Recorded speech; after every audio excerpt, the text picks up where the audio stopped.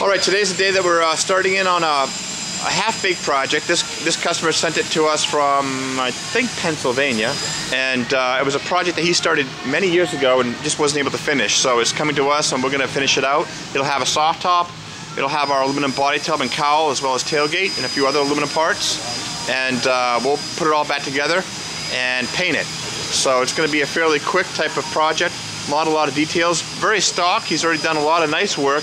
He's selected good good product like the ceramic coated headers and has painted up his radiator uh, support bracket, has sandblasted the frame and uh, painted it as well, and uh, has, I do believe, a suspension from Old Man Emu in there, and you can see that uh, has the aluminum body tub. So it's in its raw form. It even has a fairly new exhaust and uh, has aluminum front fenders, things of that nature. So we are going to go right through and uh, do some fitment issues, mock it up.